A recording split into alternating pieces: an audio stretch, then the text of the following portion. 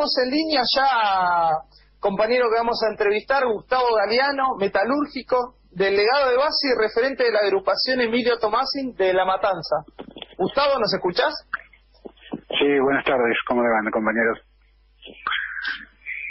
Buenas tardes, este, Gustavo. Daniel de Santi te saluda también. ¿Cómo estás? Muy bien, gracias Daniel, un gran abrazo para vos y el homenaje también a los compañeros de Tadeu. Te queríamos, quería como que nos cuente un poco la situación de los trabajadores, de las trabajadoras en el gremio metalúrgico. Eh, sabemos que han estado en conflicto estos días, sobre todo en Techín, en otras eh, fábricas. Bueno, ¿cuál, ¿cuál es la situación actual del conflicto? ¿Cómo están los trabajadores, las trabajadoras en este momento los trabajadores metalúrgicos? La situación de los trabajadores metalúrgicos es desastrosa. Eh, si, bien hay muchas fábricas que están en conflicto, ¿no? Y lo que da, eh, lo que demuestra el grado de, de resistencia que hay de, parte de los trabajadores, pero también el grado de avance y, y de ajuste que se están dando en las diferentes plantas, ¿no? Techín quizás sea la, la, abanderada del ajuste de las patronales, una de las empresas que, domina junto a ArcelorMittal y al VAR eh, toda la vida del, del, gremio, son los que van decidiendo año a año las paritarias, cuánto debe ganar un compañero metalúrgico y cuánto debe ser el ajuste que se está introduciendo al interior de las fábricas. Y como abanderada de los explotadores, viene desarrollando un plan de achique en el sector siderúrgico muy, pero muy grave, que eh, busca reducir los salarios de los trabajadores a la vez que también busca reducir el plantel de los trabajadores. Acá hay todo el conflicto metalúrgico y en general el conflicto de la clase obrera está inmerso en la tremenda crisis capitalista que hay, en la crisis de las empresas, en la crisis de la ganancia de las empresas y la única fórmula que conoce esta gente es el ataque a los derechos de los trabajadores, buscar el achique de los salarios y maximizar la ganancia con más explotación. Y para eso van introduciendo al interior de la fábrica importantes lo que hoy son avances para la patronal e importantes medidas de, del tan inventado reforma laboral que se intentó durante el gobierno de Mauricio Macri, que fue rechazado por la clase obrera como punto máximo aquella gloriosa jornada del 14 y 18 de diciembre de 1917, que si bien no logró frenar la reforma jubilatoria, logró frenar sí el avance de eh, la reforma laboral al interior de los trabajadores. Pero para que veamos algunos ejemplos, ¿no? En, Campana hay 200 despidos, actualmente están en conciliación obligatoria, eh, la que por ahí viene resonando mucho ahora son los compañeros de MET en, en la de Villa Constitución, donde también ahí está avanzando en contra de la representación sindical. Eh, han despedido 14 compañeros, los últimos cinco compañeros que están resistiendo, dos de ellos son delegados y la empresa avanza, Tenaris, el grupo Roca, avanza eh, en la profundización del ajuste. Tenemos, te decía, Villa Constitución, Campana, eh, pero también acá en Valentina Alcina, que intenta reducir unilateralmente el 50% de los salarios. Esto en relación a lo que tiene que ver con el grupo Tenaris, pero la cantidad de violaciones al convenio colectivo de trabajo y a los derechos de los trabajadores se recorre todo el territorio argentino. Y decime, ¿Cómo está la representación gremial de los trabajadores para enfrentar esta ofensiva patronal? La, representación de los trabajadores hoy, eh, teniendo en cuenta los intereses de los trabajadores, es inexistente. Si bien hay algunos conatos de resistencia, como los que mencionamos, Villa Constitución, por ejemplo, y hay algunos referentes del sector metalúrgico que, aparecen como una alternativa, o como los díscolos dentro del gremio, La Matanza es uno de ellos, con Hugo Melo de la Cabeza, eh, también Villa Constitución con Piparra González, también lo tenemos a Córdoba ahí con Urbano, que son los que aparecen como los díscolos del, gremio, como el sector eh, que rechaza las posiciones de Antonio Calor, el referente máximo de los metalúrgicos, sin embargo son díscolos de figurita, ¿no? Porque son díscolos de la boca para afuera, porque han dejado pasar las diferentes medidas de ajuste en los diferentes sectores, en cada uno de sus seccionales representadas y dejando aislados y solos a los compañeros que por ahí quieren enfrentar y desarrollar una una fuerza a este ajuste, a este avance de ajuste de las patronales. Quizás el problema más importante que tenemos los trabajadores es esto, ¿no? El lograr desarrollar una fuerza de base que surja en cada fábrica, que surja en cada sector de trabajo, eh, que tenga como premisa la democracia sindical y que exprese los intereses genuinos de los trabajadores de base como para oponerla a esa eh, a, esa directiva verticalista que siempre decide por los trabajadores eh, con una chequera abultada en, sus cuentas bancarias, ¿no? Algunos ejemplos para que, veamos, eh, se salió esta semana que la UON acordó un bono de 30 mil pesos a pagar en cinco cortas, ¿no?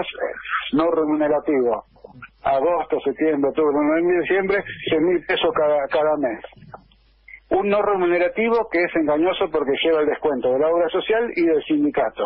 Pero además, eh, no entra en el aguinaldo de fin de año, con lo cual ahorra para las patronales un montón de plata y, y elimina la discusión paritaria del 2020. No existió las paritarias meteorológicas que tenían que haber sido discutidas en marzo para aplicar a partir del primero de abril han sido borradas de, esta en este año. ¿no? no hubo discusión paritaria, hubo un bono de 30 mil pesos pagado en cinco cuotas solamente a partir de agosto y este bono no, no incluye para el, aguinaldo, es decir, que no reconoce a los trabajadores metalúrgicos como, como pleno de sus derechos.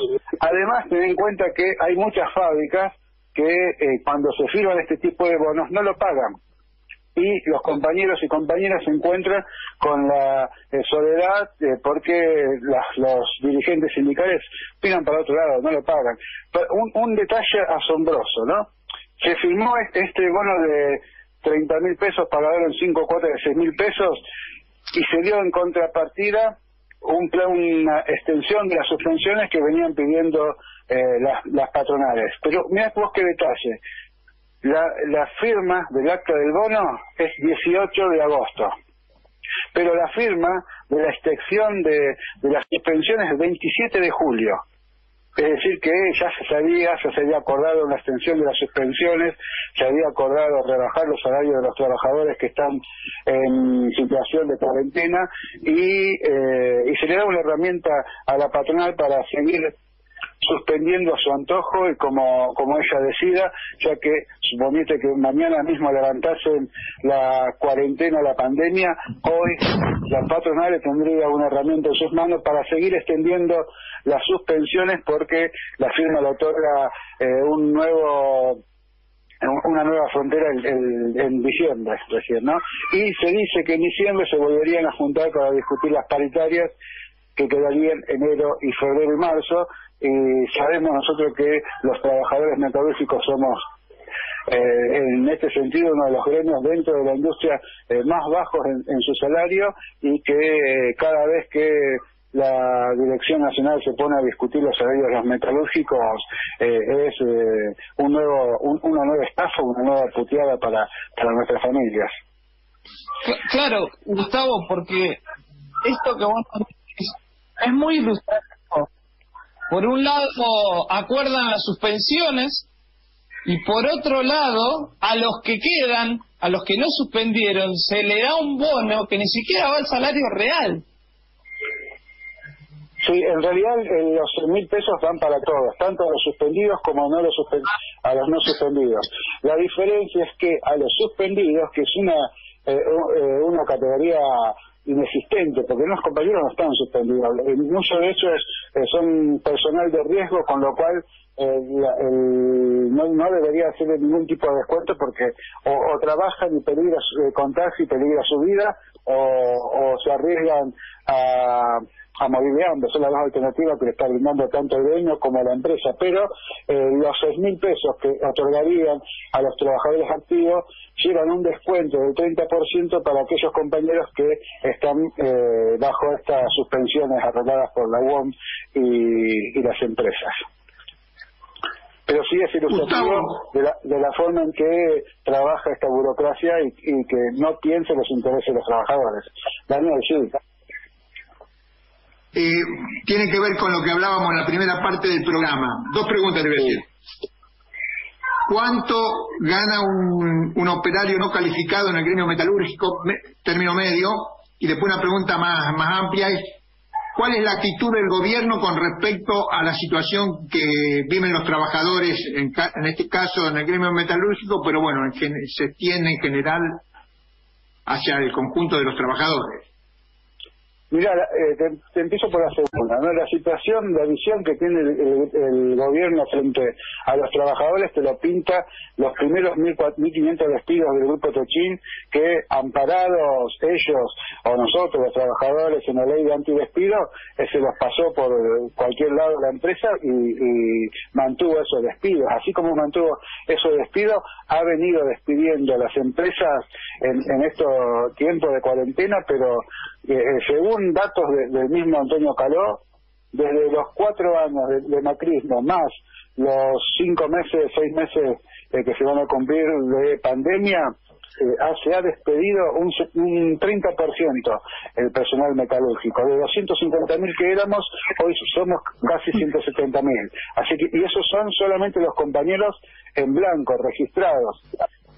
Imagínate lo que deben ser aquellos compañeros que han trabajado en negro, que no tienen ningún tipo de ayuda de parte del gremio ni de parte de nadie y que han sido dejados a, su suerte, eh, condenados al hambre y que muchos de ellos ni siquiera cobran el IFE, ¿no? Eso por un lado, ¿no? Esa es la, la, relación que tiene el Estado frente a los trabajadores metalúrgicos, que la única ayuda que da son los subsidios a, las empresas, nada más.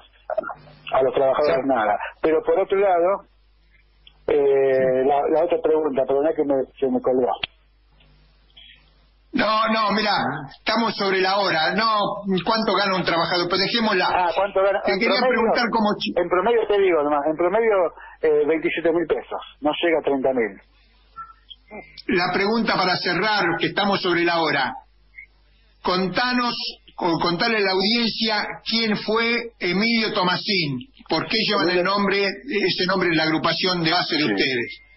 Emilio Tomasín acá no se conoce mucho, ¿no? pero Emilio Tomasín fue un, compañero metalúrgico de la vieja Santa Rosa que peleó por los derechos de los trabajadores y lo desapareció la última dictadura militar con la ayuda de la burocracia y de la empresa. Bueno. Bueno.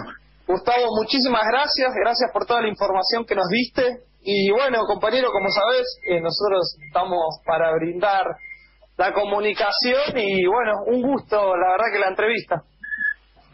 Un gusto para mí. Un abrazo, Gustavo. Un abrazo fuerte y hasta pronto.